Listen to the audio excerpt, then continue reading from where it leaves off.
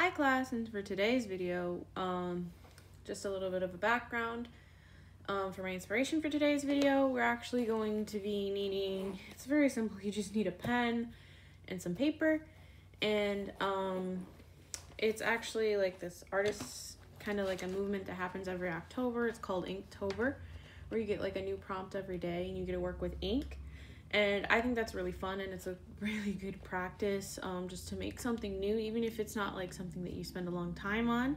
Just to make something new every day for a month, it can be really challenging, but it can also be a lot of fun. Um, and you don't necessarily have to follow like Inktober prompts. Um, there's a lot of different prompts. You can even make your own prompts, or even I just suggest like what I do is I usually pick like a couple days I like the prompt of, or I make a couple prompts and then you know, because I get it. People are busy. So then I just pick a couple and then I do a couple and it's a lot of fun. And so I thought I would show you a little bit how to actually shade and um, just draw a lot with pens and ink and stuff because that's very different from working with like a pencil. Um, it can be really daunting because like pens you can't erase. Um, but I think it's going to be a lot of fun and I'll kind of just show you some of the more basic stuff. Um, so let's just dive right into this. So like I said, for today's video, we're just going to be using a piece of paper and some pens. Um, I just have a lot of different pens here.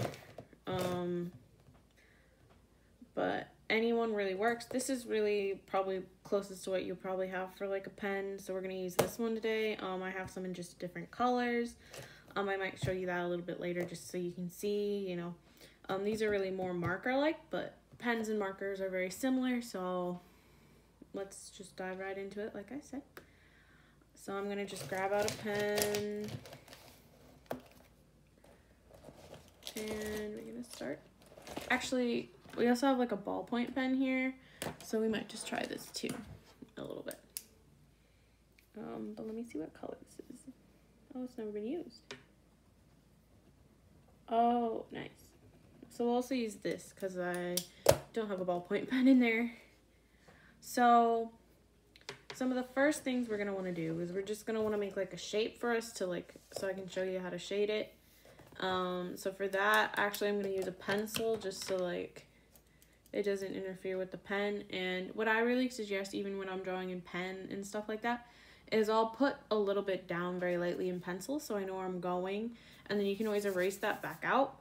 Um, just jumping straight in with pen can be really intimidating. So this is like a good, nice, like part pen, part pencil.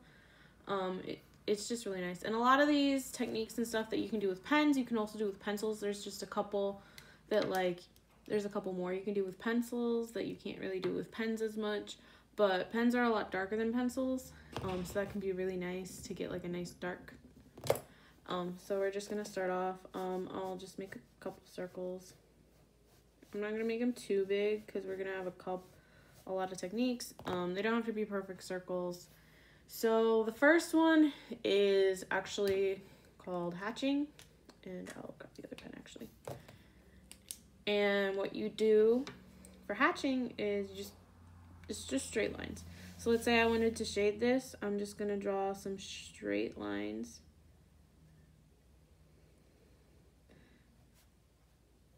And you just want to make sure that you keep a pretty consistent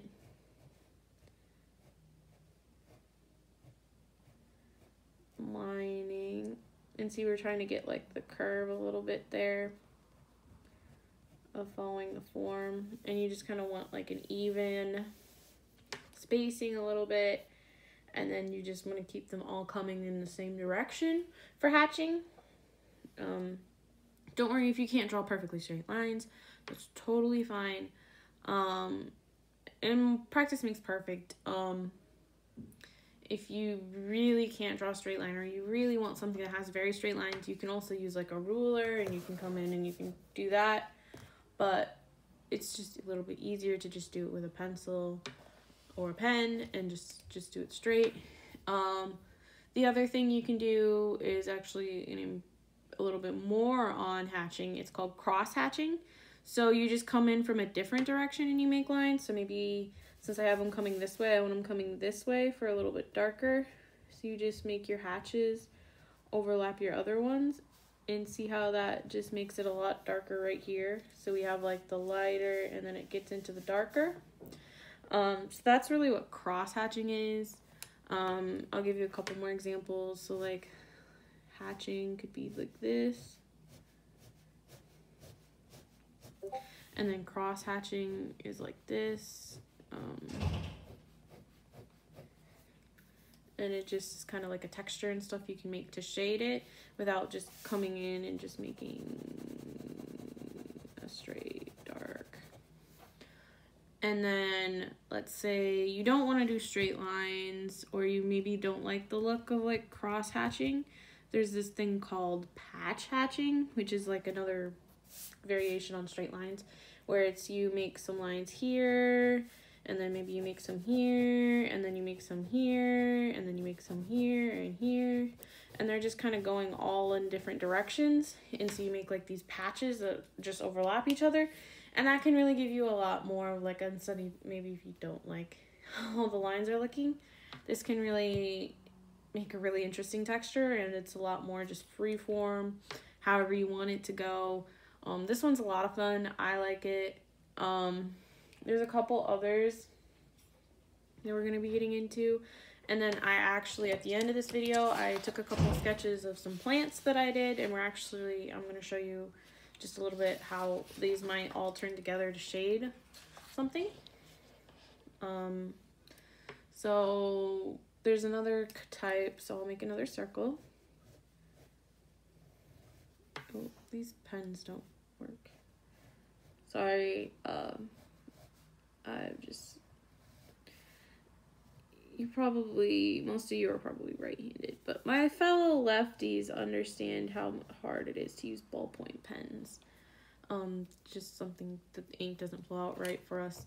Um, but there's another type of shading that is called uh, it's like called scribbling. Um, I think you'll see why in a second. So you just there's no rhyme or reason to it. You just make a whole bunch of shapes. You just kind of move your pen around any which way you want to go. And then the more you, these, this one is the one that's like hard, can be hard, like it's easy, deceptively easy, but then it's harder to sometimes because you want to just keep going, going, going because it's really fun. And you're just moving it and getting it darker with,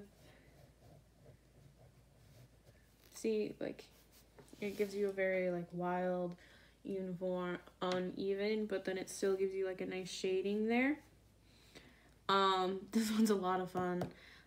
Um you can work to scribble in like more straight lines um but it's so I mean you can get it that way where you use more lines that are straight but still have the same kind of effect. Um otherwise a lot of people just make a whole bunch of circles and loops and squiggly lines. Um, but that's another way you can just change up shading with a pen or a pencil is using that. And then um, the next way maybe you want to shade something is called contour lines. A contour, um, if you don't know what contours are, it's just basically like it follows the shape of something. So, for instance, like your clothes, um, if they're like, if you have socks, they contour to your feet so they fit to your feet. Um, it's just basically it follows around the outside type of a thing, or like, like that. So that's kind of what a contour is. And so for contouring, you just follow, since this is a circle and it's pro, it's round, you just make arcing lines that kind of follow what you assume to be the form. And then you can make more lines where you want it darker. And you just kind of following it like that. Um, there's another thing called with like what we have with cross hatching where you can do contour lines but you can do cross contour. So they just follow the contour of it.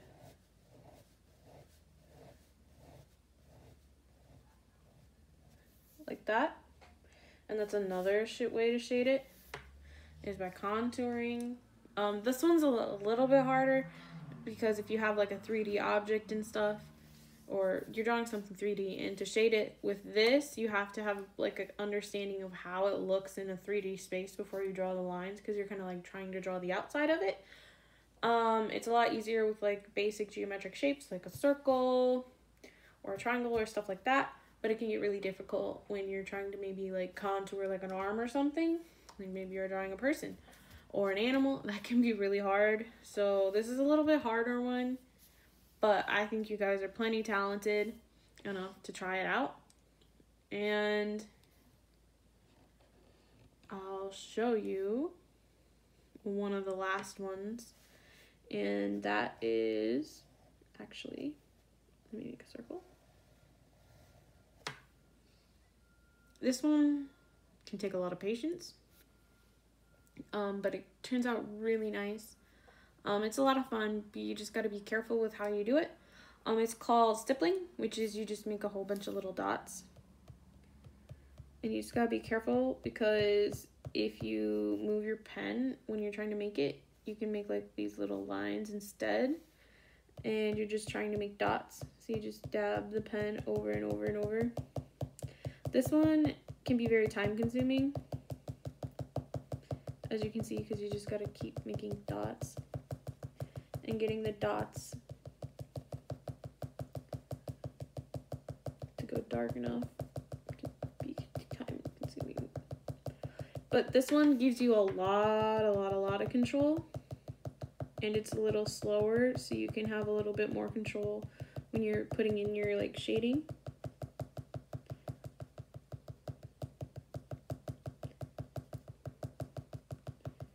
because it's slow and gradual process where like some of these line ones it's very fast and you're just putting them in so it can be one of the better ones if you want to very slowly build up any kind of color in there but I mean you can kind of see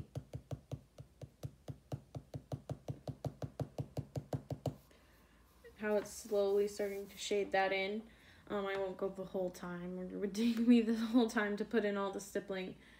But um, that's just kind of like for to review hatching. Here, let me try and draw this, write this upside down for you to see.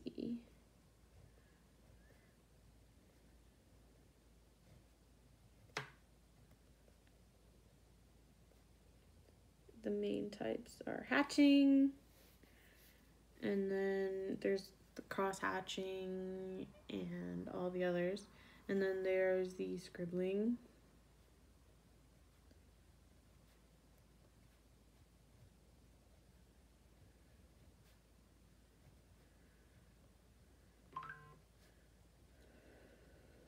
And then the stippling and the contour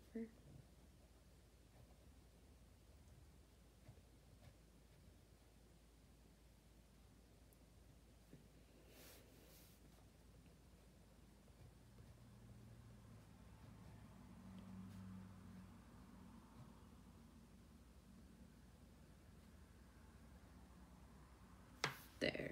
So stippling there, contour there, scribbling is here, and then hatching is this one. And those are pretty much like your basic ones. Um, you can do a little bit different stuff with that. Um, you can have make a lot of patterns just with these basic ones. Um, and those are sometimes called different things, but it's just kind of up to you what you kind of want to do with it. Um, so you can do like maybe you want to cross contour uh, or not cross contour, you just want to hat. And you can see you can make like patterns like that and stuff. These aren't necessarily always for shading. You can use it to just make cool, fun patterns. Um, that are a little bit easier than, you know, drawing out this flower and then redrawing all these flowers. Um, or they can really complement. Maybe you're trying to do a pattern and you want like flowers and then you can do line. It's just a lot of fun.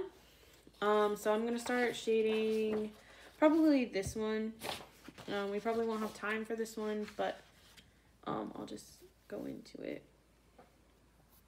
So I'm gonna actually switch out of this ballpoint pen because it's been not working the best for me, but so I have my, actually I'm gonna go thicker pen. So I have what's called a brush pen, which is basically like a marker, any kind of marker you have. So I'm just gonna go in and I wanna outline it with my pen. Some of these lines.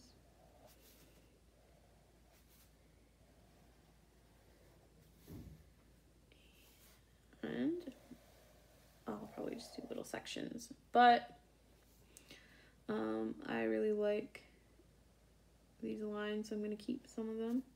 And then maybe I want to shade these because they have these little wonderful stripes, the plants.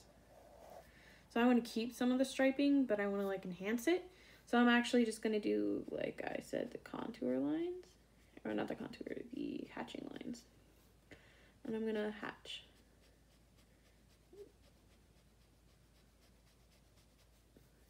And see, it's already adding a lot of texture.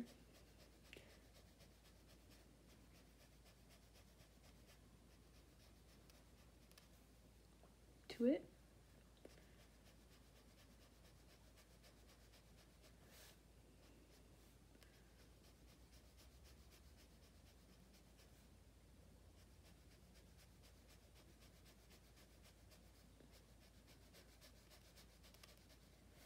A little bit up here. And see, it's worked really fast, but it added a lot of fun stuff to this plant. Um, maybe I don't like how that looks. Maybe I want to switch it. Um, so I'll show you like another one on this bottom half.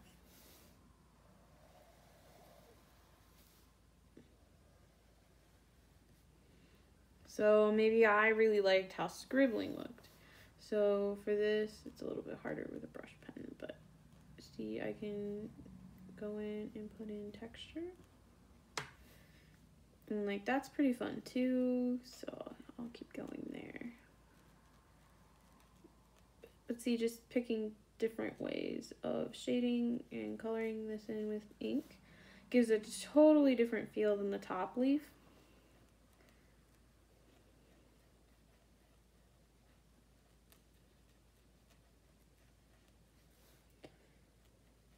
And the fun thing with this is if you're going in with scribbling, you cannot mess up.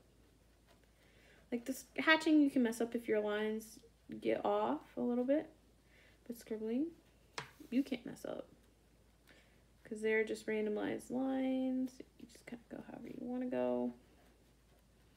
So that's always fun. And then some here. And then maybe uh, up here, maybe I didn't completely like those lines, so maybe I just want to add a little bit more, so you can always do the cross hatching. Maybe I'll only do it on one of the sides to show you like the difference.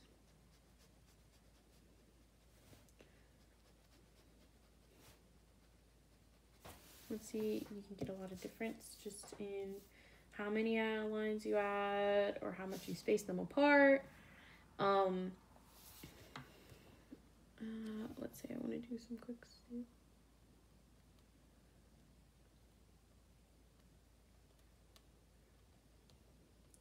Maybe you don't like how empty that feels. Just stipple quick.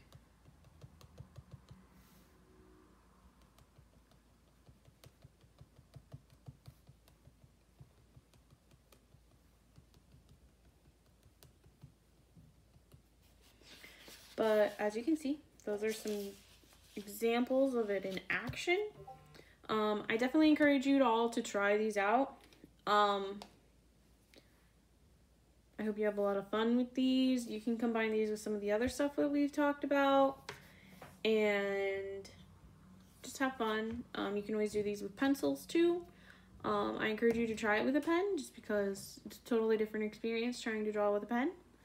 Um, just like I said, have fun with it, stay safe, enjoy the rest of your week. And until next week, I'll see you guys and just have fun.